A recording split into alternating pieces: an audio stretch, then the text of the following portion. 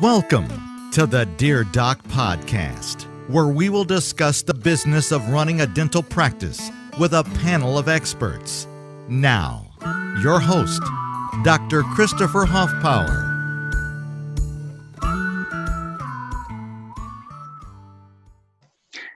Hey guys, it's Doc Hoffpower coming to you again from my recording studio here in Alvin, Texas. Uh, I'd like to say thank you for joining us for another episode of the Dear Doc podcast. Today, we have a really special guest.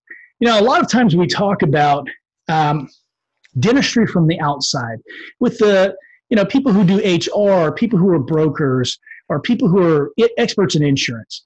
Well, today we're going to talk to a dentist who has gone through it all from private practice to owning a large group practice to getting out and finally selling and I think he'd be a great resource for a lot of us to learn a little bit more about the business of dentistry. And that is Joe Mao. Mayo. Mayo. I keep wanting to. That's Mao. so Joe Mayo. Yeah, I, I, swear we didn't plan this, but I, I kind of told him I was going to do that. Yeah. so talk to me a little bit about uh, who you are and tell everyone why you're here and how we met.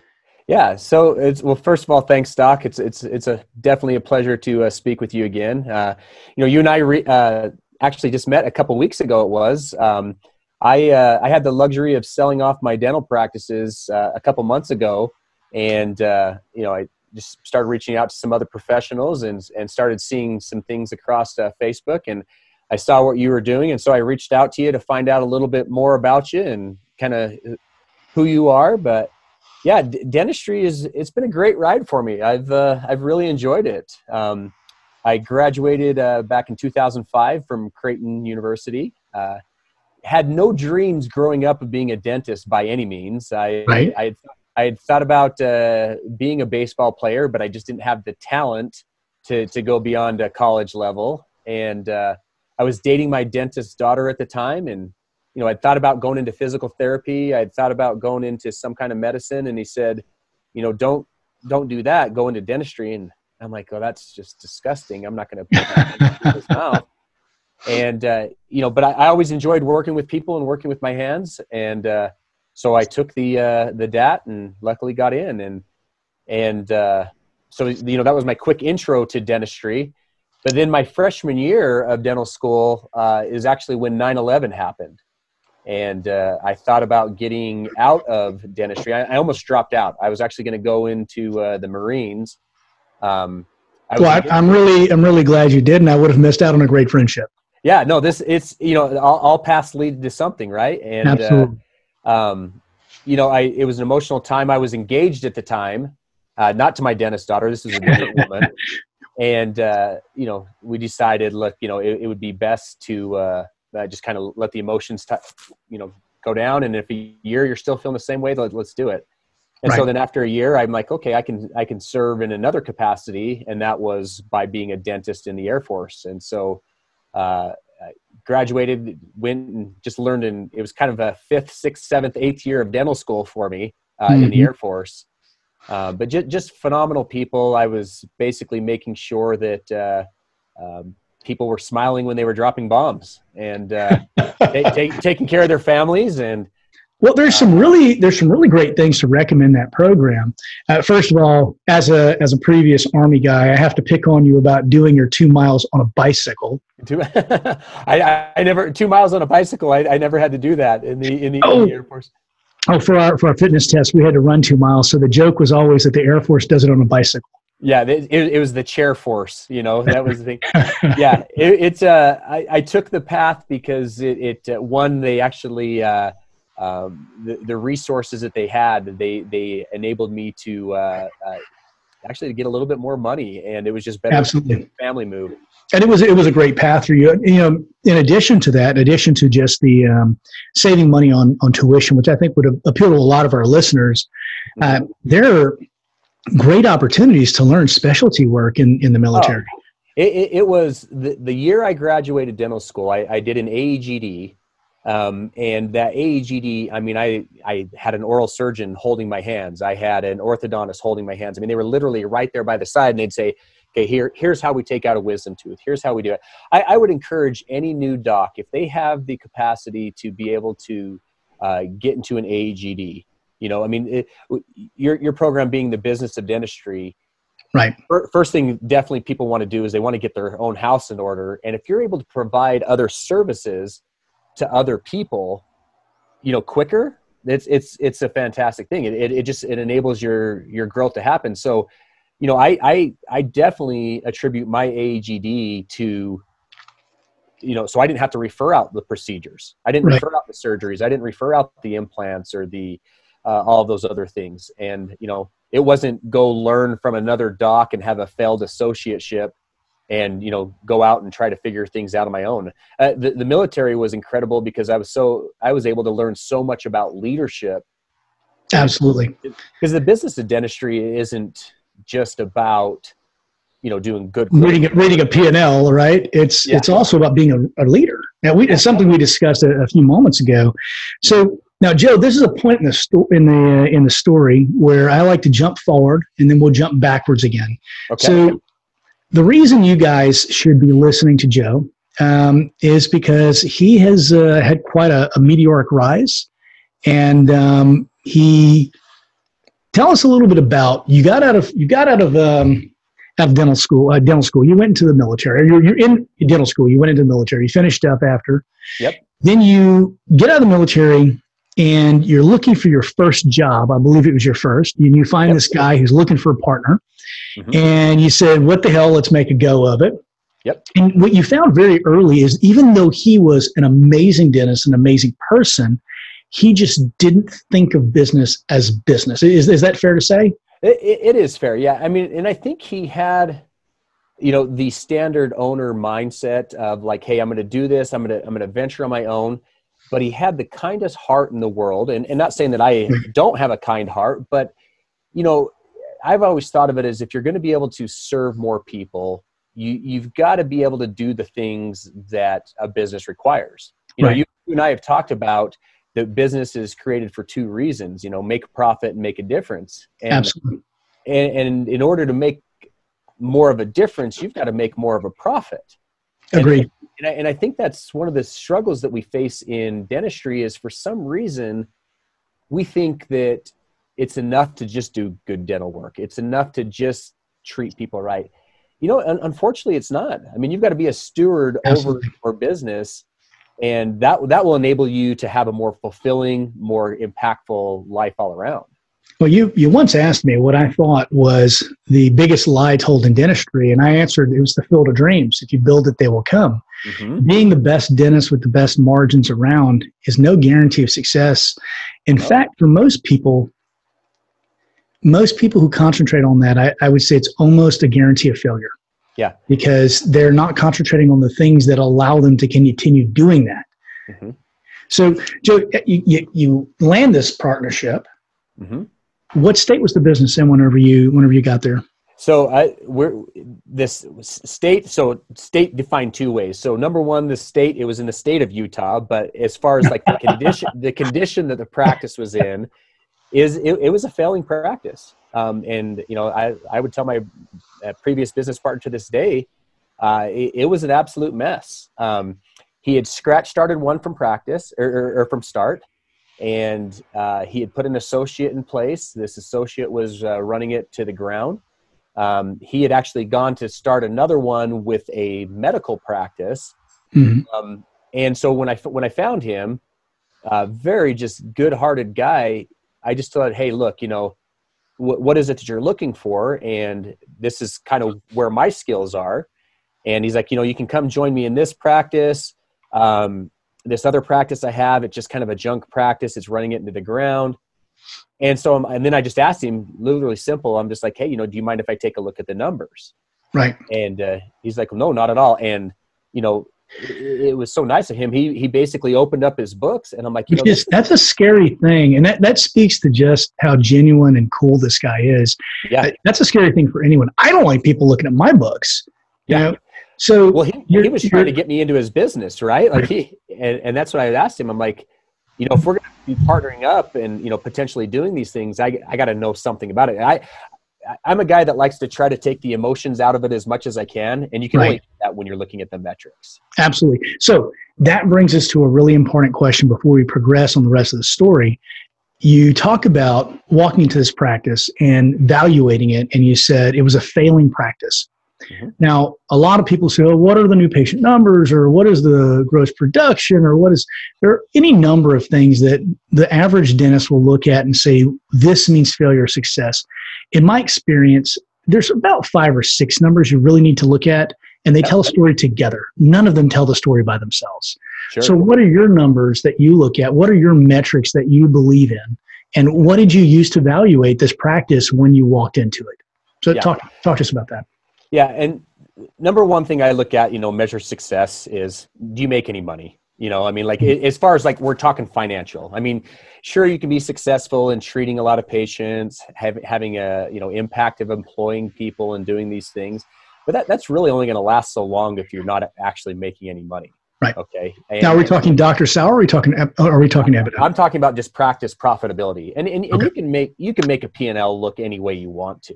I mean, like that's the thing. I I it's it's one of those things like okay, you know, if am I am I looking from a taxation standpoint, or am I, or am I looking at creating this P and L so I can go borrow some money from a bank? you Right. know. And so, you know, you obviously want to look at production and collections. You want to look at new patient numbers. I, I personally like to look at trends. You know, what's it done over the last quarter? What's it done over the last year? What's it done over the last three years? Or if I'm starting from scratch, I'm looking at demo- demographics. Right. You know, I, I want to know how many people live in a certain area. Um, you know, I would like to have, um, you know, 30,000 houses within maybe a six mile radius or s- 30,000 individuals that, that, that I can treat. Right. Um, you know, new patients, what's their trend? I mean, I, I bought practices, um, you know, because because we got up to eight practices and, and I Mhm. ended up selling them off. Six of them were general dental, two of them were orthodontics. Um, you know, I bought one practice uh, from a guy. He was getting nine patients a month, and it was, you know, he was producing. I think he was like in the mid 400s, Mhm. and by the time we sold it, we had just barely, uh, just were just shy of a million dollars. Is, Right. is what we got it up to. So it wasn't the most fantastic practice from from doing it, but the potential was definitely definitely there. And so, production, collection, new patient numbers. Um, I look at areas where we can save money. You know, are they overstaffed? And so, you know, that's that's where I look at the uh, um, you know the P and Ls. Is there is, you know so many times their expenses are out of control.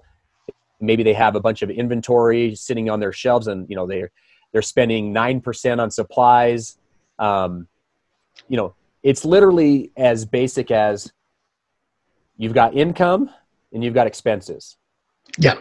How can I improve the income? How can I decrease the expenses? So that margin's better for you. And again, you're looking for levers and dials. What, what are the Yeah. big levers you can throw to make the 80% of change? And then you dial things in over the rest of the time. Yeah, Yeah. can can you can you literally increase the income by adding additional procedures? Right. By adding hours, by expanding, you know, even the space and equipment. And so, you know, I I'm a big believer, Doc, in keeping it as simple as possible.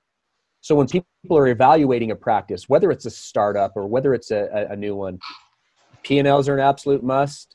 Your Right. your standard reports that uh, your dental software will put out Mhm. production. But, but here's the thing numbers are only as good as the person inputting them. Right. Because I, I, I've bought a practice and the guy's like, oh, you know, we're getting 50 new patients a month. Well, let's take a look at your books. And you go and count Right. them at like 38. Right. So, so due diligence is huge. Diligence. And you know, and that's one of the things that I find, and I think that people don't realize the reports in any kind of dental practice management software. Uh, there are usually two to three reports that will get you the same data, and they're all pulled in different ways. And so um, the the algorithm that's used a lot of times uh, can really affect how accurate that number is. But you're you're talking about um, you're talking about P and Ls. There's an old joke.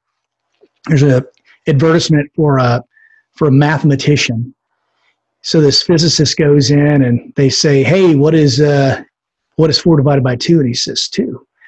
And then an engineer comes up and he says, um, "What is four divided by two? And he says, "Well, it's one point nine eight eight eight nine seven one." and springs it off to 30 digits. Statistician comes in and says, What is four divided by two? And he says, What do you want it to be? What do you want? Right. and that's kind of the P and L, right? it, it, depending on what you list as what, you can make it look in, in a variety of different ways. Yeah, yeah. I, I look at the potential, and I, I look at it, it's like okay, here here's here's what I know to be true. Here's how I think the practices should be run. Here's what here's the value I can do. But I'm also looking at what's the real asset we're buying. You know, right. what's the what's what's the potential? And so the assets are the people. You know, are these people under trained? Do we need to train them up? Are they going to fit in the new culture that we bring? Right. And you know, a lot of times uh, people don't want to fit the new culture. A lot, a lot of times they uh, they're not used to being productive members of society. And so, you know, are you willing to make the strong decisions to uh, that the business needs to make it successful? And if you're not, then don't buy it. Absolutely. There's there's a um, a management company or several of them that uh, teach the L. Ron Hubbard management style, and I bring that up because of where you're from. Okay. Um, so you know, funny as you say that, and I I stay in my own bubble. Tell me more about it. I I I'm, I well, they they say that there are people who are willing and people who are unwilling, and people who are unwilling are, are of no worldly good. Uh, and the way you can tell them is because they are people who are covertly hostile uh, it, it, there's a whole bunch of stuff. We'll talk about it off off off camera because some of it's yeah. kind of wacky, a lot like L. Ron Hubbard was. Yeah. but they, there, there's a lot of really good, juicy um, tidbits you can pull out of that. And one is willing versus unwilling. If a person isn't willing, they're not trainable. They're, they're yeah, simply not. But I think a lot of doctors make the mistake of holding on to people who are unwilling or people who don't share their vision for way too long and they're, they're sure. poison. They, they they destroy the practice from within.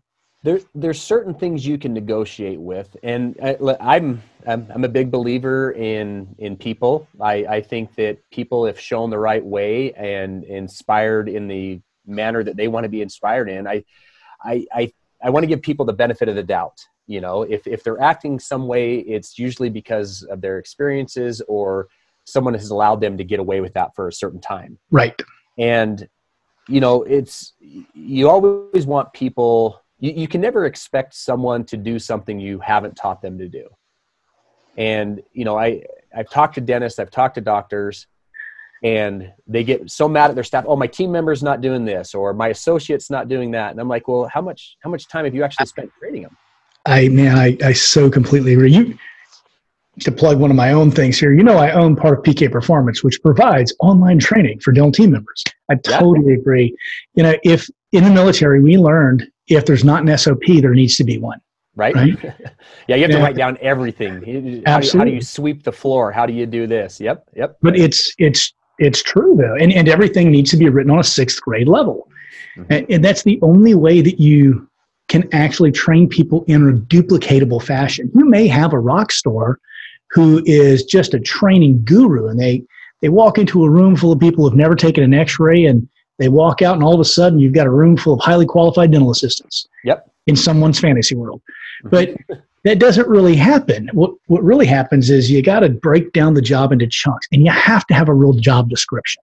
You've got to tell people what it is you expect from them, or they can't give it, no matter how how willful they are to provide you what it is you're paying them for. If you never tell them what that is, they can't do it. Well, and it's and it's not to be insulting to them. It's it's right. literally just to provide the communication for people of these are my expectations. I am I am hiring you and paying you to do X. Right.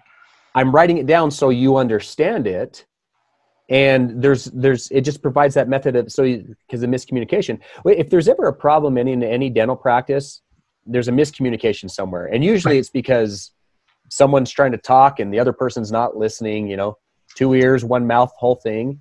Right. And so you know it, and, and a lot of it's just okay so you've got this rock star person that's training these dental assistants. Well what happens you know to not be too morbid here but what happens if she does walk out of the office and gets struck by the bus what it, what it, or, or more? You're picking on me about my notes thing. I see. I see. Right. but, but, more likely, you know, like w- what happens if uh, you know they need to leave? Maybe their spouse gets another job. Uh, Absolutely. You know, maybe. Uh, you start over from nothing. You start over from zero. well life life happens right Exactly. Like, life happens and there's going to be turnover in our industry there's it's, it's going to happen and whether you want it to or not um, and you just want the, the clear thing. Uh, you want you want your business and you and i have spoken about this before like like an e-myth. You want your business to be able to run without you being there. You want to be able to make money without you having to do wear all those hats. You know not all of us look as good in a hat as you do right there. I'm, I'm I, I wear a baseball hat but I look this good in a hat because the more of my face I hide, the better. The be- okay. yeah, I get it. Uh, I and, and I say, hey, you know, let let the hair flow. You know, things like that. I, I saw that ten year picture of you, Doc. You you look fantastic. yeah, that was that was that was a real gem right there. I knew I had to I had to show that one off whenever I took it. So Yeah. we are now we're at how many years out of the military? You now own eight practices, two orthodontic practices, six general dentist practices. Mhm. So how many years out is this? So so I started. So that was in 2010 that, that we started that, and in Okay. 2019 is uh, when we finished selling uh, everything off. So, So in so nine years you went nine from years, eight practices. Um, That's pretty amazing. So and you sold that for um, you know just a couple hundred thousand dollars, right? a couple hundred thousand yeah so it's I, I'm, I'm doing okay i'm, I'm doing all right um, and uh, look it's um, it's never as much as you want it to be okay? I'll Right. tell you that right, right now. I mean everybody who says that they got the number that they wanted when they sold their practice is eh, they're lying okay? Um, i would have liked a couple more zeros on the end of it. Right. but it, it did allow me to be where i'm at today and uh, you know dentistry is a complete option at this point for me and i'm, I'm definitely living a i would say a financially free life and uh, and uh, i'm very very happy about it. So um, you know Well, fortunately I was, You use the word there. I want you to expound on, Joe. Mhm. Use the word free. Mhm. Talk to us a little bit about what freedom means in in, in your evolution as a Yeah. person and as a dentist. Yeah.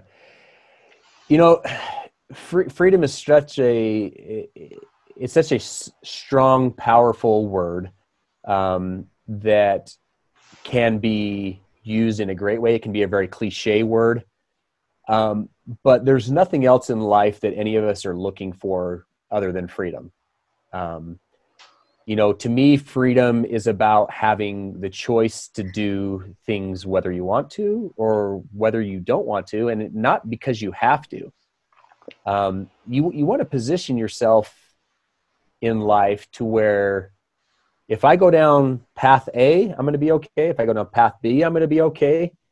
And we get we get into dentistry with all these hopes of oh, I'm going to live this great life. It's going to be fantastic. I'm going to have my own practice. I'm going to work until I'm you know 70 years old. But there, there's a real problem in our industry, and the the problem, you know, burnout's a big thing It is. um, you know, uh, under, uh, you know, we've got DSOs that uh, want to take over a lot, and, and and my business was a DSO. There there was nothing wrong with it. I've I've seen both ends of the spectrum. Um, I've also seen some great uh, people do some great stuff with private practice. But what happens to that guy that gets completely burned out? What happens to that guy that maybe their child has, you know, uh, um, you know, some health issues that they have to step out of dentistry? What what if you break your hand, you know, playing catch with your kid in the backyard, or you're getting a car accident, you know, and and so you dentistry you don't make money. The traditional model is you make money when you're doing something in somebody's mouth.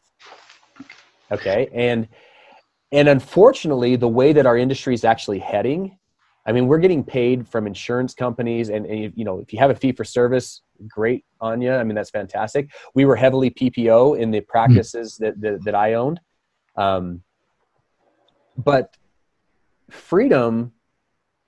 What I did is is I was I was literally I was in practice one time, and I'm, I'm going to tell a story here about uh, a patient, and, and we've all had this patient. She was late on her bills. Okay, she was she she had been into our office. I think I had adjusted her bite probably 15 different times. She was complaining about everything. It was this was going wrong. This staff member treated me. rude. She was late for her appointments, and, and i'm a big mountain guy and my my office it, the window at the office was facing the mountains and it was snowing really hard that day and here's this woman just on me about all of these things that were wrong and we we had done such we had done the best service for this woman as we possibly could and and i know everybody who's listening to this podcast has had that patient absolutely right? we, we've had that patient that no matter what you do you just can't make him happy in fact i ended up dismissing her because she was so mad that i was talking to my assistant as i was working on her about her birthday. My assistant had just had a birthday, and I was asking her about her birthday weekend, and she was absolutely just devastated that we weren't only talking about her. And I'm like, you know, so we ended up dismissing her. But I looked out the window, back to what I was saying, I, I looked out the window and it was snowing, and I'm like, why am I not skiing today? Right. I do not. I do not want to be here with this woman today. Was that kind of a moment of epiphany for you? It, it was. It, it was one of those things like I did not have the freedom that I set out to do because if I, I you know, I have bills, I have obligations, I have all these things. I, I can't just get up and, and leave this tomorrow. So I'm going to put myself on a better path to where work is an option and not a, er, er, er, it's an option and not mandatory because then that's when it gets really fun. That's when it's like, okay, hey, I can I can do this because I want to, not because I have to. And, and it, it's always been that. You know. Joe. The thing is, a couple of comments on what you're saying here. The first thing is that most dentists don't own a business; they own a job. Mm-hmm. Um, the second is that a legal owner of a business, right? They have a their right. their business is their boss. Yeah, exactly. And the second thing is, is as a person who owns a job, we give the courtesy of having a written job description to all of the employees in my practice. Mm-hmm but we never give that courtesy to ourselves. And it that that courtesy should extend to when is the job done? When are you finished doing this thing, this dentisting thing? And yeah. for me, and you and I have had this conversation before. It's actually one of the things that really first struck me about you. One of the things that uh, made me made me really like you a lot is that you knew what I meant. In fact, you actually you asked you said something about before I brought it up, which was what is your number? Mm-hmm. And um, to me, everyone needs to know why they're doing what they're doing. I am doing what I'm doing because I want to give back to dentistry. I want to I want to do something for a profession that did so much for me. But there's a point at which I say, okay, I am done. And what is that point? For me, 4.5 to 5 million dollars in the bank. Mm-hmm. And um, when you reach that number, you have to give yourself permission to stop working. Yeah. And I think that's a hard thing for a lot of us because we haven't defined it for one. We don't know what our number is. We don't know that it's okay to say that. Yeah. What What are your thoughts on that? You, this, obviously, this epiphany brought you to this realization, and this is kind of where everything started, and why I wanted you on the show. Yeah. So talk to us a little bit about that. This goes beyond just knowing what your number is. I mean, knowing knowing what your number is is, is a huge right, a huge thing. Okay, um, you know, c- coming to your number. If you have, you know, if you have five million dollars in the in the bank sitting in cash, you know, you're doing two hundred and fifty thousand dollars a year. That's that's twenty years. Right on the nose, exactly. Right? Like that, like that's twenty years. Okay, um, and that's a fantastic number. There's nothing wrong with that. Some people may look at that and be like, "Man, that's way more money than I'm ever going to have." Um, you know, some people may say like, "There's no way in hell that five million is enough. I want fifty million. Right. Okay. To me, that number and what you want is more about knowing who you are as a person. Exactly. Uh, what what is it that you want out of life? Is it more time with kids? Is it more time, you know, skiing up in the mountains? Is it better vacations? I mean, we all kind of want the same thing. Like there's really no magic recipe. It's just look, do we know who we are? And and to me like dentistry I always had a I always struggled when people would say, "Well, what do you do?" And I'm like, okay, am I a dentist? It's like, well, no, I'm not a, Uh, yeah, I'm a dentist by trade, but that's not, that's not what I do. That's not who, who I am. I mean, you know, we, we, we had a tagline in our practice and it was much more than dentistry. And, and our place of work was, I want people to practice being a better version of themselves when they come to work. Okay. It literally is a place where you learn how to be a better father, a better mother, a more productive church member, a more productive member of society. How do we teach individuals within our organization to be better contributors to society? And so you have to, you know, when you look at like what that, you know, coming back to what you talked about, what that number is, you have to formulate a path of how do I get to that number so I can have more impact on the things that I want to do. So I can get to the uh, of what I really, really want to do. Because look, I I love taking vacations. I love skiing. I love spending time with my kids.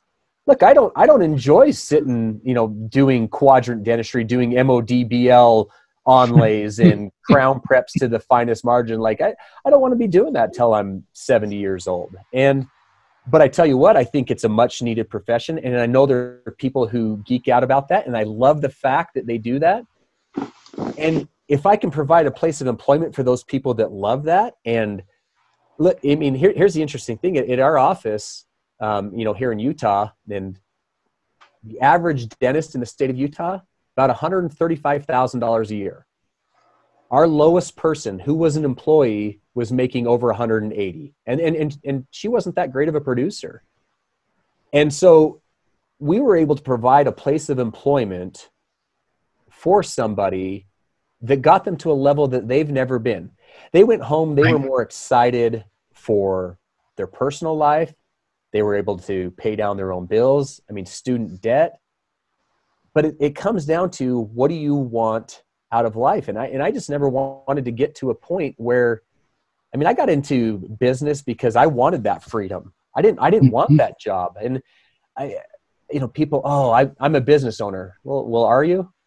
Are you really a business owner? Because to me, it sounds like you're a slave to your job. Absolutely. I, I couldn't say it better. Now, with all that being said, and you said earlier some a really um, poignant thing to me. You said there's no recipe. Now, the the truth is is there is no recipe for personal success. There is no recipe for business success. But if you go and you look at almost any bread in the supermarket, you're going to find that it has milk, it's got flour, it's got eggs. You're going to find a laundry list of things that all of those breads have in common. Unless, of course, you're shopping on the vegan, no gluten aisle, in which case you're for, you, feel, you feel free to eat that crap. That's uh, not bread. That's not that, bread.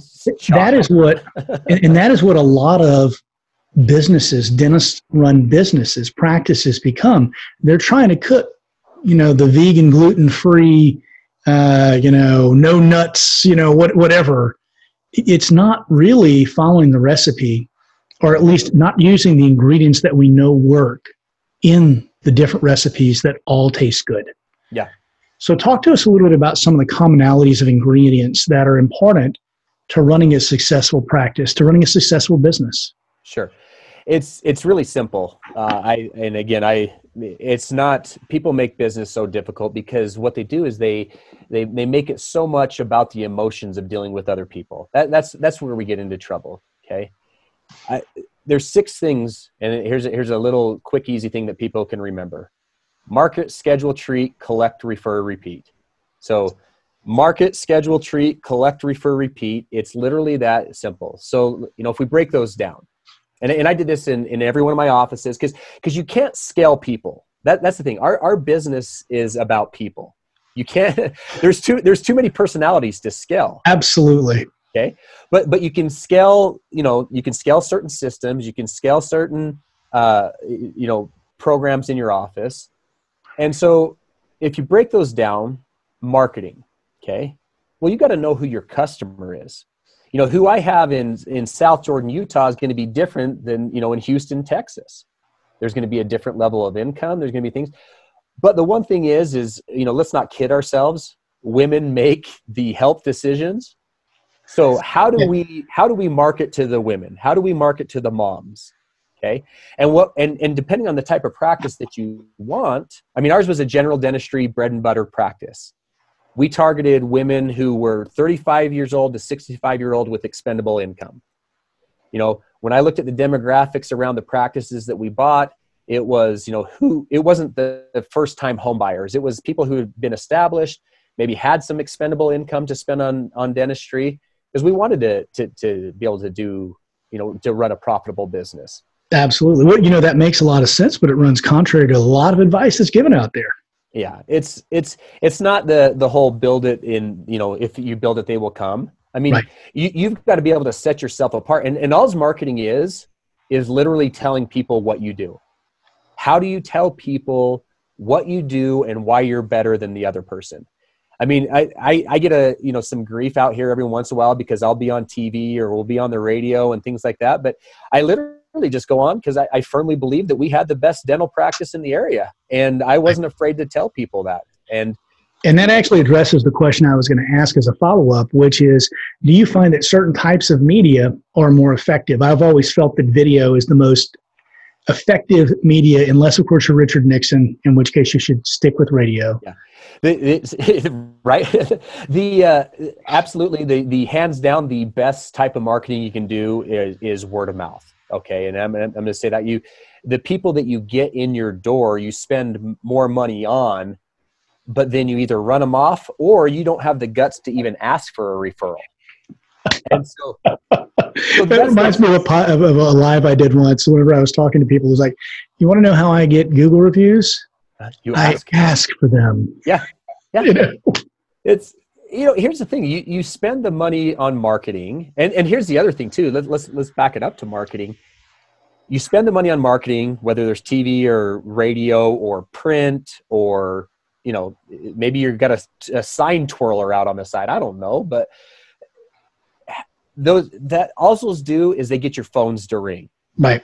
So there's got to be a proper way of scheduling that appointment when they get the phone. Because eh, one thing that drives me nuts in practices is it's not an information source you're not an encyclopedia that patient calls your goal is you're selling an appointment time that's yep. it because you, you can't I don't care how noble and great you think you are. If you can't get them in the door, all of your great services, all of those CE courses that you went to, if they're not in your chair to do it, you can't you can't serve anybody. Okay? So you get them in your door, you do great service. Why not? I mean, if you feel good about what you did, why do you have any problems asking for a referral? I absolutely agree. You know, and so we, we we're humble we we want to be you know have this sense of humility about us so not only could the doc be asking for it but why can't the assistants be asking for the referral why couldn't you put that in place and and so referral is is definitely an underutilized source um, i feel that you know social media is a, is a great avenue. Mm-hmm. um, radio and tv is a little bit more expensive but but it definitely depends on on this I, I would say. Are you trying to be a big fish in a small pond or are you trying to be a small fish in a big pond? Right. You know who who do you who do you feel comfortable being? And literally i mean if you can get out and just tell people what you do they're, they're not going to you might get looked down upon from your peers and stuff like that but my god have a little bit more of a backbone to not care about that because you're there to serve the community and i i love it so one of the things I will say um, in marketing, many of us concentrate more upon the modality rather than on the close. And, mm-hmm. and what I mean by that is there are many different modalities that will get your phone ringing. Sure. But if no one's answering your damned phone, mm-hmm. all of the money you've just spent on marketing, and that was Got one of the things I was going to caution with TV. TV works, mm-hmm. but you have to have a call bank. If you don't have a call bank, mm-hmm. are several people answering the phones, you are losing money hand over fist. Yeah, and it was uh, when I was at three practices. I actually uh, I, I, thought about it at two, but we actually started a call center in Good. our practice. I thought and you might have. I was going to ask. Yeah, and, and a call center that we have. I mean, we we were talking one person, mm-hmm. two two people, you know, and uh, you know we ended up getting up to five or six people in the call center because that's what the the volume required. Right but you don't have to start at those things. I mean, it could be a cell phone that somebody carries around with them that uh, you know that they're able to there. But it's it's you know this traditional hey we're only open from nine to five Monday through Thursday.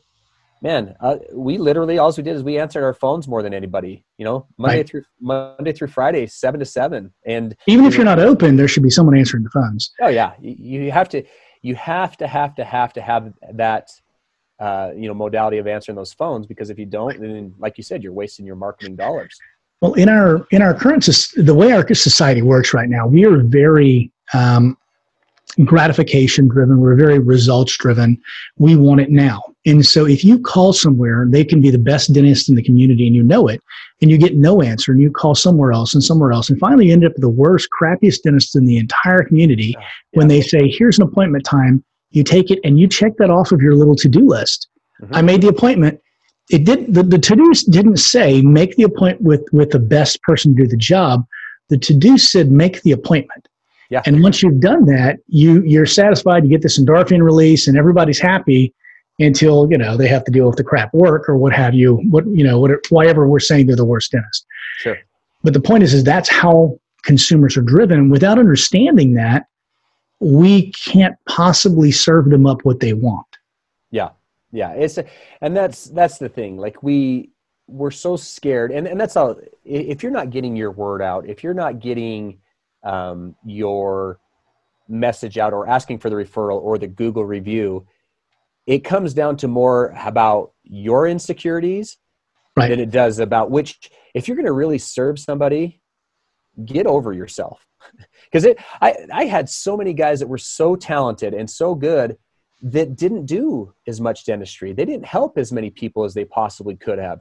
Um, and it did. I, I worked for a guy that was that dentist that that didn't do the best dentistry, but his doors were always filled. The community loves him. He he he was you know, and, and he does does an okay job, right? But he was he was available to his patients. He talked to his patients. He was confident in what he was doing and he was able to do those service and so I, I think honestly i mean people that don't take the time to really understand who they are and the value that they bring, they've got to look at doing some serious soul searching because they're not, you know, they may do good dentistry on three or four people, but man, what if they could do it on three or four hundred people? Absolutely. That, that that's that's what the impact's about. Now, now, Joe, I always like to leave people with some meat and potatoes from each subject that we're going to cover. So before sure. we move on beyond marketing, I'm going to share my patient script, if you will. It's not really a script. It's kind of just about kind of what I say okay. and what my people say, and I'd like you to do the same. Okay. So we just finished treating somebody. Miss Jones, did you have fun today? We had a blast seeing you. Um, I, am a little bit a bit embarrassed to ask, but would you recommend us to someone? Do you know anyone who needs a good dentist? And they always say yes. Yeah. So what? Let, let me. Okay. Let me ask so you this. Me yours. Oh, go ahead. Okay. So I, I love what you said there Okay, so here here's here's the thing. So, you know, hey, Mrs. Jones, I would love to have a thousand patients just like you. I had a lot of fun today. Thank you so much for coming in. It's always great to see you. So, hey, we're always looking for great patients like you. Do you have any friends or family members that are looking for a dentist? Because you know we take great care of you, and we'd love to ha- have them over here. Absolutely. And so those those two things yes, have a lot in common. Yeah. Okay, go ahead. Sorry. I was I was going to say here here's the key point though. This is what you've got to do because this is where we fall short. When they say yes, you've got to follow up with this. Great. What's their name? So right. when they come in, we can make sure that we take care of them and we can let them know um, that, you know, we always appreciate having you in. Subconsciously, what that patient does when they say that name, and see, you're, you're reading my mind right now. Mm-hmm. When they say that name, all of a sudden, when they say you know, Jim at the gym, you know, Jim at the gym or Jim at the grocery store. Right.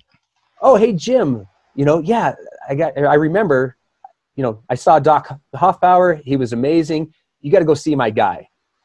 Okay.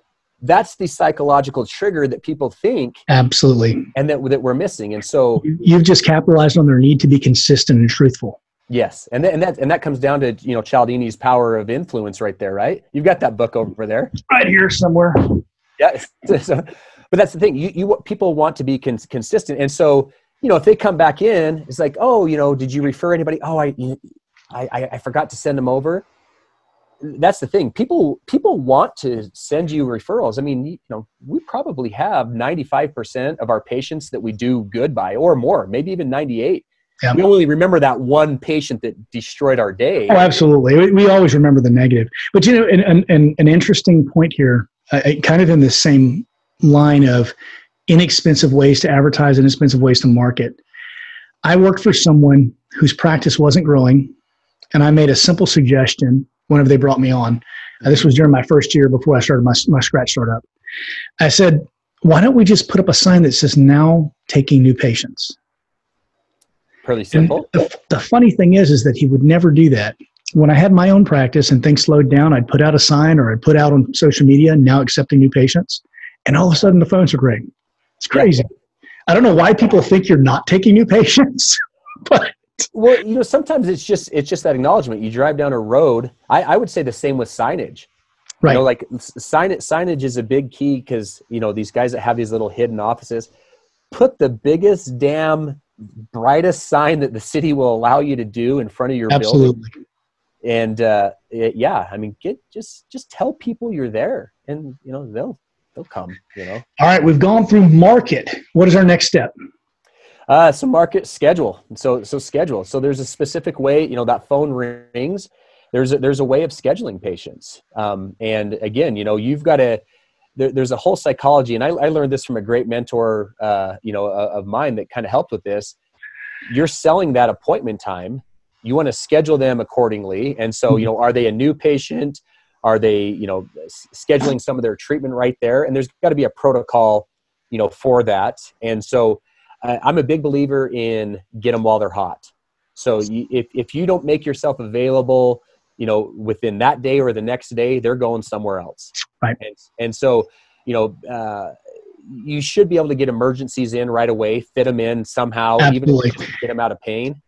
I, I was actually going to bring that up if you didn't. I always keep three or four slots, just 30 minute slots open during my day where I can do an emergency exam. And I, I, like to keep one right before lunch because sometimes I'll decide to work through lunch to do that crown.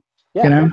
Yeah, I, and I hope you buy your assistant lunch or absolutely or take care of the team and let them know absolutely how valuable they are. Right? They would kill me otherwise. What are you talking about? Yeah, I, I had a I had a doc that would always run through lunch, and he would just burn through assistants. And I'm like, and he's like, they're my assistants are leaving me. And I'm like, well, it's because you treat them like they're peasants, you know? Oh, no, absolutely. Like, yeah, take good care of them. I, I, actually, I'll get mine just because gifts sometimes. I'll just bring them a card. And it, it's so dumb, but this works so much whenever it comes to building a, a team culture. I'll just bring them a card and it says, hey, do you remember last week whenever you did such and such? I just want to say thank you. Mm-hmm. Right. Just that one little handwritten note. Yeah is it's phenomenal how well it works. Yeah, it, it really is. I think the uh, the handwritten note is and it's it's a part it's a part piece of art that has been lost. I believe you know, it's everybody wants to text, everybody wants to email. We want the quick, the now. Man, there, there's when I get a handwritten note, you know, a little little thank you. Man, it's it's cool. You want to hang it up on your fridge. You want to like show people, and they stick it in their purse or what have you. That text, whenever they read it, it's gone. Well, yeah. when it's in their purse or whatever, they pull it out and they see it and they have that little flash of gratitude or that little flash of empathy every time they see it. Yeah. I, I think it's an amazing thing to do, but yeah. No, it's I, I think it's incredible and it, and it's just a great part of that referral reward program that you should have Absolutely. in place. You know, so um, you know, coming coming back to the schedule that you had asked about, um, you know, you want people in the door, right? And so you've got to be they've got to be available, or you've got to make yourself available, or a team member available. You've got to get them now, like I was saying, but you also have to be respectful of that patient's time. I, I see people schedule so much that often people are waiting in the waiting room 20 30 40 Absolutely. minutes it's just uh, people people don't want to do that Yeah. that's just they're going to go to the guy down the street and, and look I, i've been guilty of that but i tell you what we do when we are guilty of that we are talking to that patient all the time. We are going out there hey you know sorry we're running a little bit behind. Can we do this? And every time that we ever had somebody that we ran longer than 15 minutes or something for you know give them a $10 gift card to target or you know a Absolutely. restaurant or some just something just to set yourself apart um, because we look we're not perfect but you know you, you do your damn best to try to be so Absolutely. We, we have a rule in our practice that if someone is waiting for 10 minutes, they need to be moved. So you move them to the consult. People have about a 15 minute temper switch where Yeah. if they've waited for 15 minutes, then they explode. You move them before the 15 minutes and you just apologize and say, I am so sorry that you're having to wait. We generally don't run behind time. We had an emergency. Thank you so much for being so understanding. May I get you some coffee or some water? Yeah, yeah, that's it. Well, and that's the thing. It's easy. you, you schedule them and then when they come into your office let you know you you've let's say you you you pass that magical threshold of scheduling them Right. when you do get onto the treating part it's not drilling and cleaning the teeth it's how do you treat that human being when they walk That's into your attached to door the teeth. Exactly. Patients know about a couple of things. They know about the chair they sit their ass in in the waiting room, Mhm. and they know about the chair that they sit their ass in in the treatment room and how they were treated in between those two places. yeah well and people people buy on emotions right you know they don't we don't buy on logic yeah and and so if we what's the saying you know you you don't always remember you know what they did or something but you always remember you know 100% of the time of how you felt Right. and if people feel like they're being taken care of you know i, I mean I'd, I'd ask your you know you doc i mean how many times does somebody come into your house where you don't you know a brand new person do you do you show them around your house do you give them a drink of water do you give them a whiskey The first, the first thing I say is, I really have to apologize. We have two kids. don't go into that bathroom right. Exactly. I think I think most parents can empathize with that. But yeah, exactly. Whenever you have somebody who comes into your house, you treat them with hospitality. And if that hospitality doesn't extend to your office, then it's not a place they're going to feel comfortable. I 100% agree. Well, and they, and they won't buy from you. I don't care Right. how how big you know how good you can explain that clinical you know margin that you need to do for that crown. If they don't like you, they're not going to buy. And, and that gets around to the point of sales. And folks, you've heard me say this before.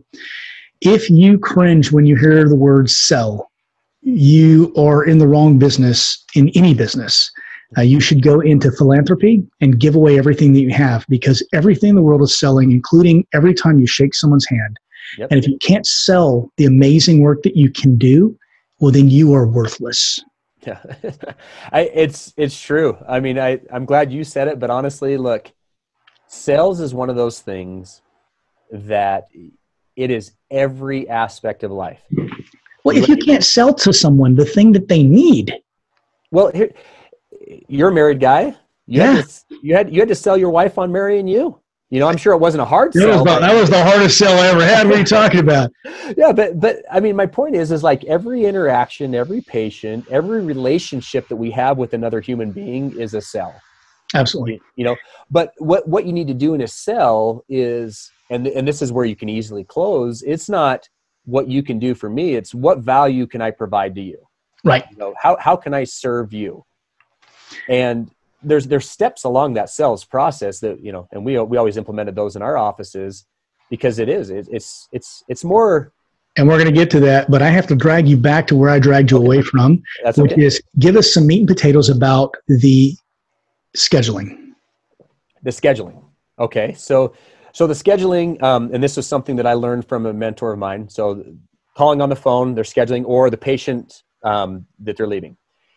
People never want to feel boxed into something okay? So there's kind of five steps that you can look at when scheduling somebody. Okay. Uh, and really what it comes down to is you want to steer the conversation for somebody to it okay? You answer the phone some way and it's you know hey you know say uh, uh, you know apex dental you know this is bob how may i help you? Okay. Oh uh, you know how much does your crown cost? Okay. It- people want to know those kind of things. They want to do it you know stuff like that. You want to give people options so they're not being boxed in. And one of these things that i've learned along the way is called the dual alternative close. Okay. okay. And so you want to get them away from what they're thinking. And so okay hey bob everybody's different um, you know and, and crowns we're not really entirely sure if you need that crown or so. So what we like to do is we'd like to get you into our office um, to evaluate whether it is you need a crown or if there's some other type of treatment that we can do for you. And then instead of the, letting them talk from there it's literally would you prefer today or tomorrow? Would you prefer next week or you know this week? So you start big and you work your way down Okay. And, and again, this is something that, that I learned from my mentors and it was, uh, I'll tell you right now, it, was at the scheduling institute mm-hmm. uh, with Jay Geier and it, we were there uh, clients of his for a little while. And um, we learned this, that was, it, it was pretty fantastic. And it, it increased our new patient numbers dramatically. So if you say, okay, Hey, this week or, you know, or next week.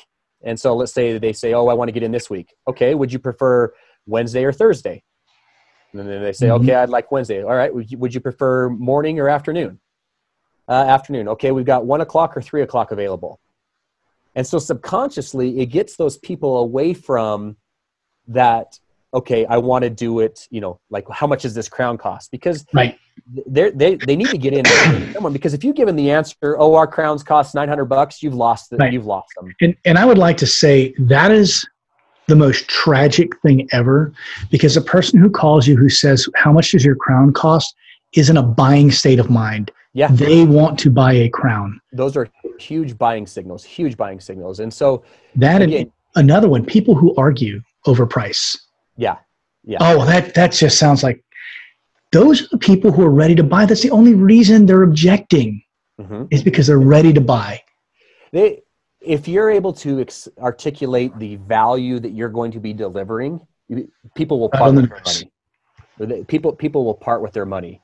And so, you know, when you schedule, you do something as simple as that dual alternative. See, I'm, I, I know I'm stirring something in your mind because you're like, yeah, like that's, it's, this is why you and I talk for three or four hours. Exactly, exactly.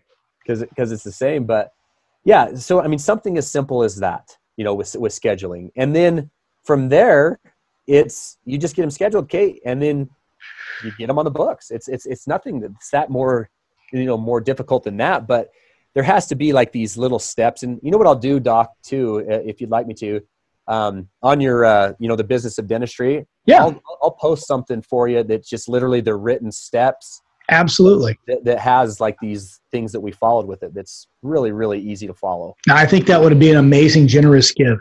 Yeah, no, I'm ha- happy to do it. So all right, so we've gone through marketing and we've gone through scheduling.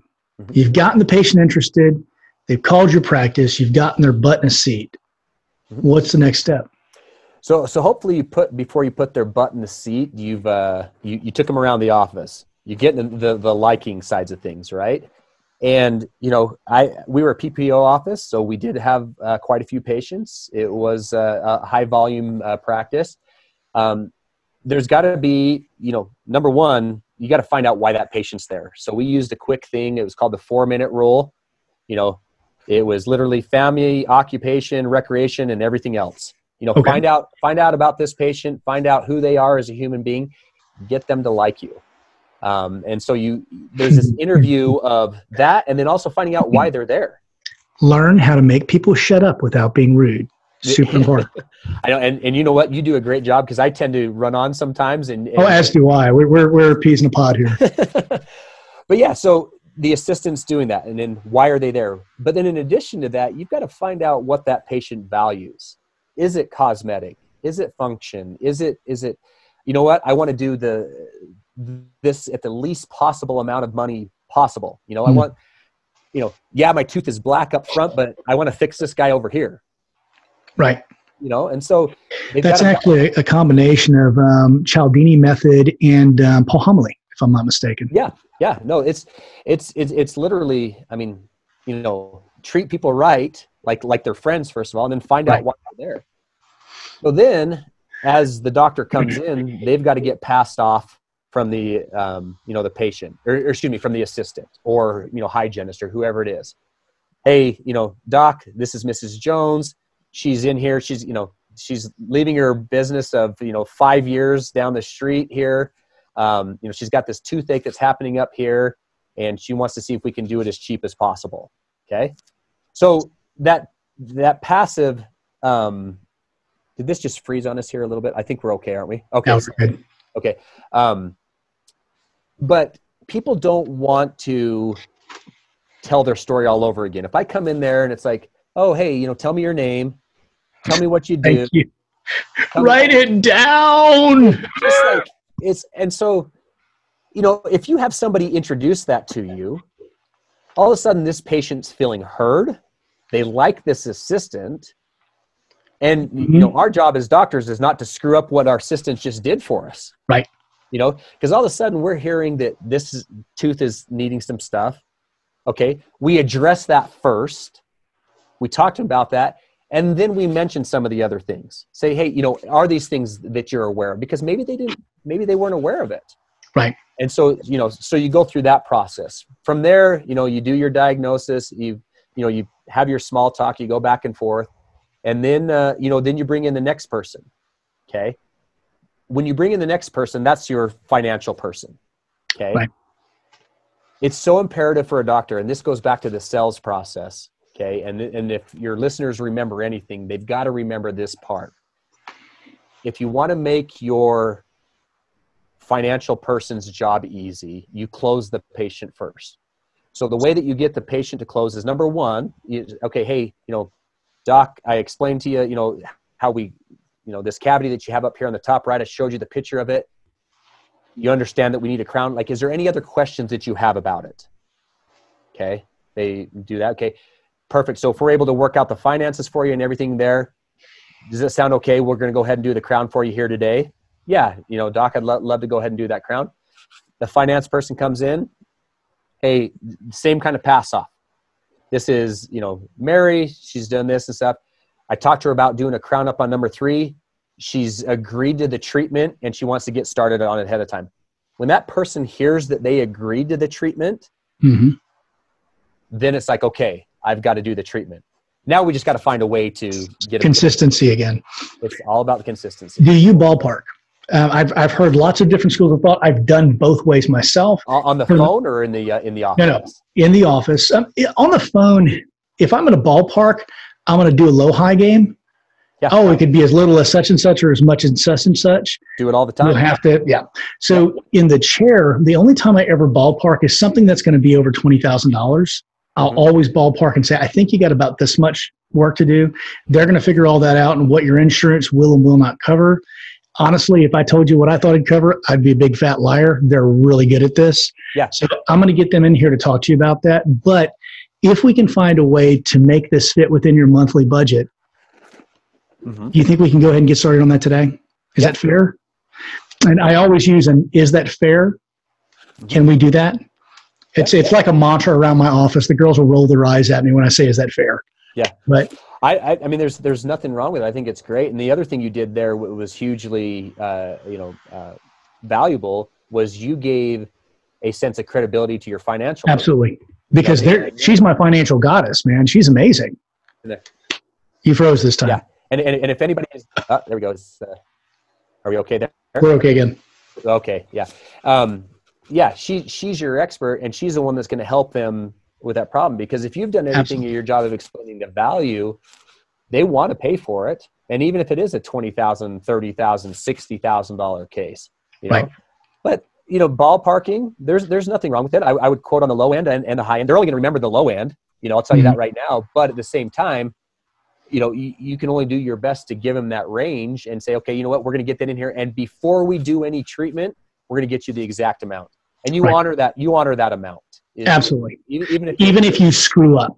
you've got to do it. You've got to. Absolutely. Totally on the same page. It, it's worth, if you screwed up by $2,000, there's nothing that you can buy marketing wise that's worth $2,000 the way that that $2,000 is worth in that patient's mouth when they go out and they tell their friends, he screwed up on the, quote, on the quote, but he honored what he told me. He's honest.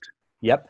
Yeah. They. Uh, it's you know, and on social media they'll go on. Oh, they screwed up my price here. Like we had people in our office that, that did that. You know, they would um, mess up on some of the uh, uh, Right. different things, and it, it was it was important for them to, uh, to to honor that because you know the the value of a patient depending on where you're at in the country i mean it values from anywhere from 1500 bucks to 2500 bucks you know if you're doing higher end dentistry it could be up to four or five thousand they go and tell 11 of their friends i mean you're, you're losing $20000 all because you want to be right you know Absolutely. Well, we, I think we've had this discussion. It's too important to many dentists to be right. Yeah. Um, oh, that's uh, that's almost a podcast in and of itself. oh geez we could we could talk for hours on that you know you don't there, there's so many different ways to do it, but at the bottom line is, are you doing the best job and the best service for that patient? Right. You know, can, can you And- take a, can you take care of them how you're supposed to? And, And you know, something I tell my patients in, in this vein is, um, I will always quote you higher than I think it's going to be because people like surprises for the most part. oh yeah, yeah, you're giving them money But- back at that point. Exactly. And but the thing is, is if I if I tell you it's going to be two thousand dollars and it's three thousand dollars, that's an unpleasant surprise, and you're going to be mad at me. But if I tell you it's three thousand dollars and it's two thousand dollars, Mhm. or if it ends up being three thousand dollars, you're either going to say, "Wow, that was great," or "Man, he knows Yeah. his stuff." Yeah. And I'll just tell them just like that, and, and then they have a reasonable expectation of what I'm t- what I'm saying, and they have the hope that it's a little bit less. And when it turns out to be a little bit less, man, they are over the moon. Yeah, there, yeah. There's there's nothing wrong with quoting on the high end for sure, and and I'm a firm believer in that because you really don't know. Yeah, Right. that that surprise when they get that at the end, like you never Oh told us. Well, the surprise whenever you open up that PFM that had the open margin, and instead of having good solid tooth structure underneath, you've got soup, and now you've got to do a post and core to build the tooth up so you can put a crown on it, Oh, and you didn't tell the patient. yeah, it's That's that's a bad bad place to be. e- easiest way to to do that too. I mean, if if to you know to fix that. I mean, if you have intraoral cameras in your office, that's one of the easiest ways. Absolutely. If you if you if you don't have intraoral cameras in your office, I mean, there's some of the cheapest intraoral. You can get them for fifty bucks. You know, and uh, I have a DSLR in every op. you have to. You have Absolutely. to. Mhm. All right. So now we've gotten our patient in the chair, and we've gotten them treatment plan. So where where are we going next? Yeah. So I mean, you, you do So the market, you- Schedule, treat. Yeah. So you, you treat them, you, you do it, but at the same time, and then the next thing is collect. So I, I would always like to encourage collecting ahead of time. I was going to say I would pref- I would prefer to put collect before treat, but you Yeah, can't always do that. Yeah, it's it's you know sometimes I mean people they want it you know whatever, but I'm I'm a firm believer in you do not do a service unless somebody can pay for it. I mean, it's, Right. you know, do you value yourself? Do you value the service that you're providing? And you know, we all we all want to be, you know, good servants. We all want to like help people, but at the same time, you have to have the mindset that if you don't have strong financial arrangements in place before you do the treatment, you're not going to be able to serve anybody. You're not going to be able to give your Right. staff bonuses. You're not going to be able to market to other people or help the community. And so, you know, here's your copay. This is what it's going to cost. Um, you know, this this is your portion. How are you know? We have a variety of different options. Is it care credit? Is it a local credit union? You know, how do we get all of these people that we're treating to be able to pay? Or you know, maybe you have an in-house financing that you do. I don't. I don't know. I personally don't like that. I'm I'm in the business of dentistry. I wasn't a bank Right. you know and and so that's what i think is funny is when people try to become bankers when they can't even run their own house So I have a rule. Okay. Um, if I'm going to do in-house financing, it's going to be in-house financing on extractions with bone graft and PRF. One of my highest profit items is extraction bone graft PRF. You're looking at six to seven hundred dollars for a material cost of seventy dollars plus labor, and I will in-house finance that for twenty percent down every day of the week. that's yeah and But that's about the only thing I'll in-house finance. and and it, and it varies from practice to practice you know Right. you want you want to be able to um i mean it's it's whatever your model is you know but you have to have a strong collections in place and you have to get paid for what And you you have to know what stuff costs. yes which is something you and I were talking about before. If you don't know your COG, your cost of goods sold, hmm you you are not a business owner. yeah You, it's, it's you business owned. You're a slave. well, and we do. And here's the funny thing: because I knew what my cogs were, and I knew what it was. Look, I didn't mind taking some of the PPOs. Right. You know, I mean, I know there's a huge push out there to be a fee for service and those things. I mean, there's some guys that they're in the business of dentistry. There, they'll have you know their crowns be three hundred dollars, and some guys that I'm not going to do it for anything less than eleven hundred. Right. Okay, I mean, we had some insurances that would you know be four hundred and eighty dollars for the crown. Now, you know, a lot of those times there was a lab fee that you could attach to the top of it. There was um, you know a buildup that you that the, the tooth may or may not need. You never want to over treat, but you also want to maximize what the those insurance allows you to charge. You know, and it's and it's literally just whatever you do, you charge for it. You know, don't don't make it any more complicated than that. I I agree. There, there's a lot of people out there, and they honestly, I've I've I've gotten a bit of crap about um, every time I plan a crown, I plan a build up every single time. Nothing wrong with And that. You don't know what you're getting into until you absolutely, and I'll I'll say seven out of ten times I'm doing the build up uh, because I like have to have absolutely picture perfect textbook, you know, three to four millimeters of ferrule, beautiful crown. Mhm. But there are sometimes I'll squirt a little bit on an undercut and not charge for it. Yeah. It just honestly, it depends on what you need to get through it. Yeah, your, So- your, your, work has to speak for itself. You still got to do good quality dentistry because it, it'll catch up to you. I mean, it definitely will catch up to you if you're not if you're not uh, providing longevity for that patient. Though, you know, they're gonna they're gonna know after a while. You know, it may take a couple years, but Right. at the end of the day, No, can you and, and, and a couple of years they're going to tell everyone. There's an old rule in retail, and that is that a happy, satisfied customer will tell one person, and a dissatisfied customer will tell 10 people. There are actually studies done to show this. Mhm. In the digital age, those numbers are logarithmically increased. Oh, for sure. One, one happy person can tell thousands, but an unhappy person will tell tens of thousands. Yeah, it's so it's so true, you know, and and that's the uh, uh, you've got to be able to just provide a good service and help people, but you know, get compensated for it. So So, So you're, that is- on, you're on collect. To collect, you must know how to charge insurances if you are in network with a PPO. Yep. Let's talk a little bit about that and some of the different things coding wise that they may be missing out on. And some of the different things, um, for instance, always making sure you get a bite wing, a PA, and a picture of any tooth that needs to be crowned.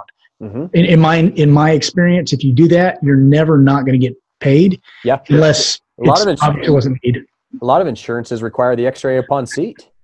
Yeah, and you you can't charge the patient for it. It's just the if you're going to play in the PPO game, you got to play in the PPO rules. You know, so that's a that's a part of it. But Dr. Dr. Travis Campbell is big is big on saying that uh, is that basically it's just all a game. You just have to know the the rules of the game, Mhm. and then abide by the rules. Then you win. yeah, it's not. I mean, that's that's literally what business comes down to. Are you willing to play the game that you're choosing to be in? And if you want Absolutely. if you want a fee for service practice, then make it work. If you want a PPO practice, then you got to make that work.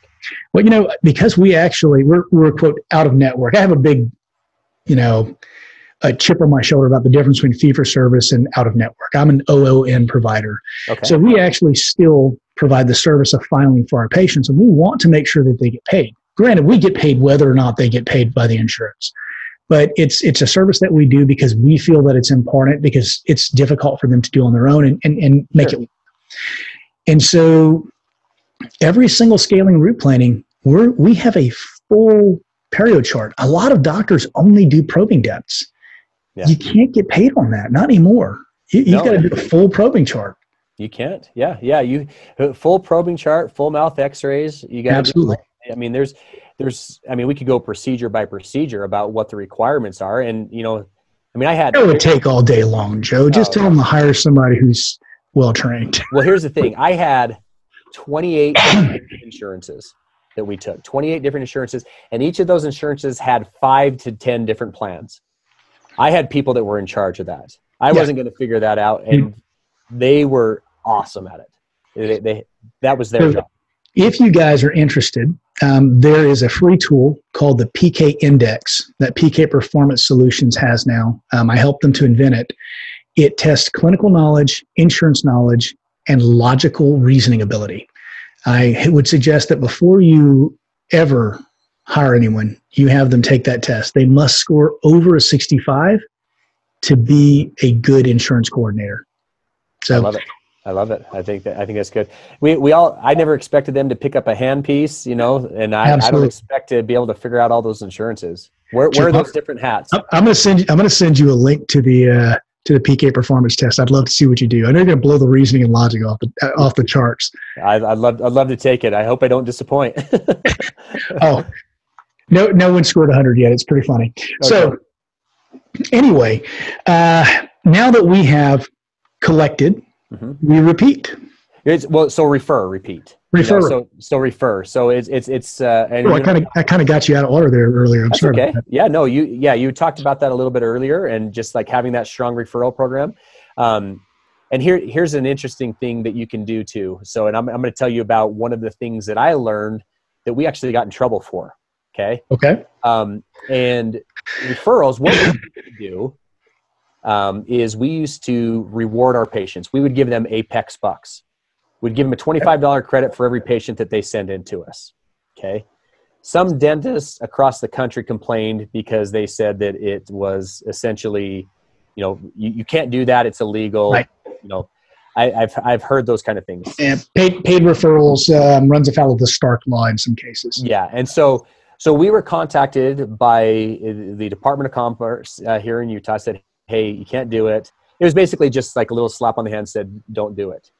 Mm-hmm. But then I asked them if we could do this. Can we thank our patients in other ways for sending us referrals? And they said, "Sure." So this is what we came up with.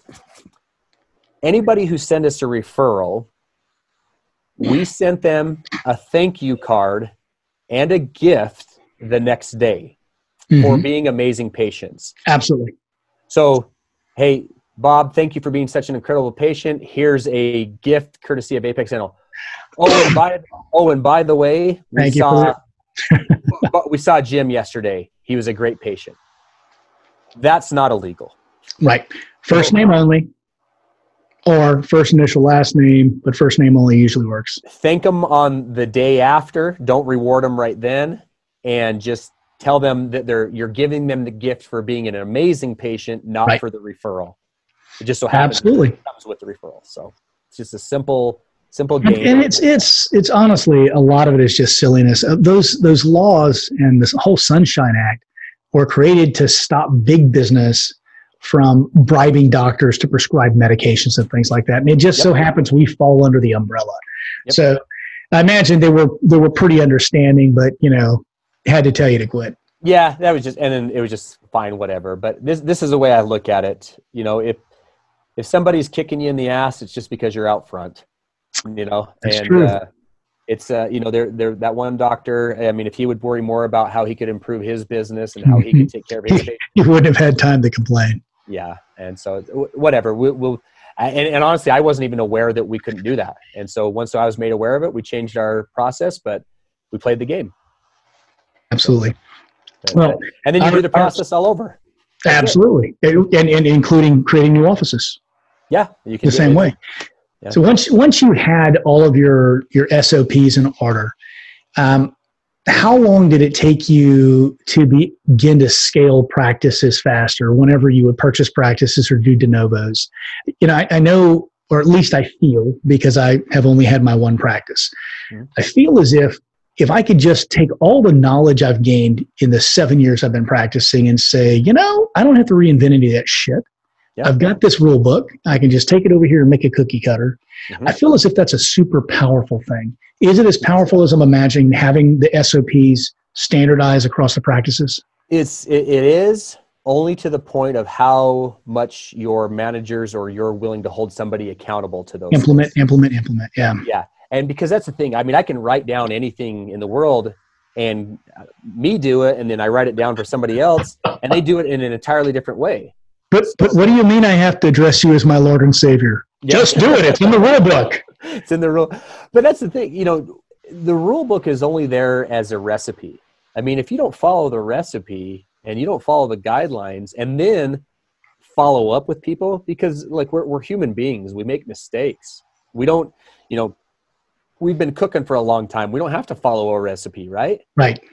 But if we have somebody to help hold us accountable, okay, it's like uh, you know, if if you work out, okay, I know I personally work out a lot better if I have somebody who's like sitting there watching me do the reps, telling me what I'm supposed to do. I, I mean, I mm-hmm. know what I'm supposed to do. Doesn't mean I want to do it or I'm going to constantly right. do it. But it's it comes down to so much of human psychology. Yes, SOPs are fantastic, but it's so imperative that you have somebody to help understand that person of delivering that service. You know, why didn't this, this person follow this SOP? Well, maybe they had a, a shitty day because their you know, wife just left them or something. I don't know. Right. You know.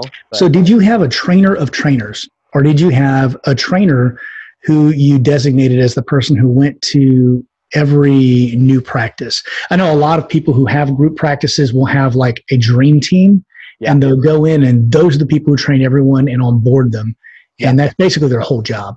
So, talk to me a little bit about that process. we so we did a little bit of that at the beginning. And then as we grew bigger i had designated trainer. Okay. And so i I- i was fortunate. I had the best team in the world. I had some of the smartest men and women to work with me. Um, they did an incredible job of help helping develop those you know uh, operating procedures that we had. Um, they had you know they would sit down with these we'd open up this new office they would sit down for the first you know 90 days holding these people's hands saying this is how we're going to do it. This is why we do it. Let's get you on board with it. And they would do those things. So we had depending on the position i mean i, I ended up starting a dental assisting school because i was tired of, of hiring assistants and then training them on the job. And i'm like well why don't why don't i just have my assistant who knows what she's doing get paid to train these people Right. you know Those are, those are very lucrative too. I, I actually have one in my practice on Saturdays. uh-huh. I make a little bit less than a thousand dollars a month just having someone use my practice on days that I'm not using it. Yeah, that, which which is great. We had, uh, you know, the in fact we sold our dental assisting school when I sold everything off. Um, that my main assistant, she took it and ran with it. Right. Uh, our gross revenues on that were about one hundred eighty thousand a year. Yeah, yeah. I imagine.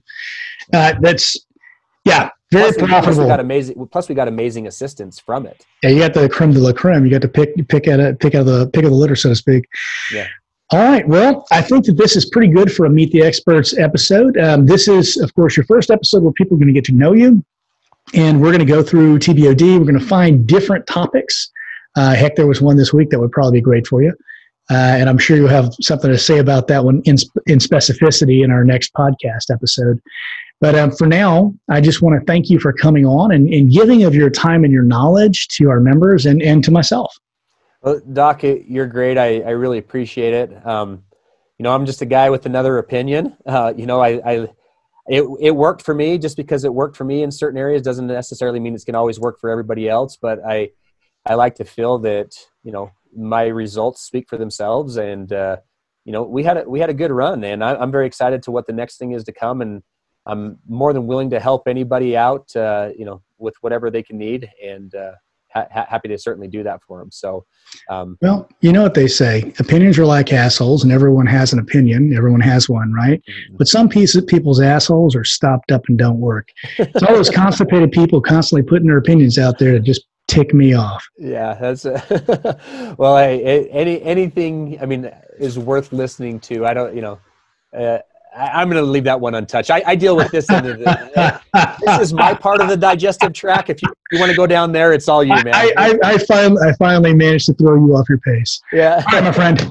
Joe, Thank you thank you, much, again Doc. for joining us. Guys, thank you for joining us for another episode of the Dear Doc podcast. Um, and thank you for wasting another perfectly good hour listening to the sound of my voice. I hope that we see you again soon. Have a great day. Thanks, Doc.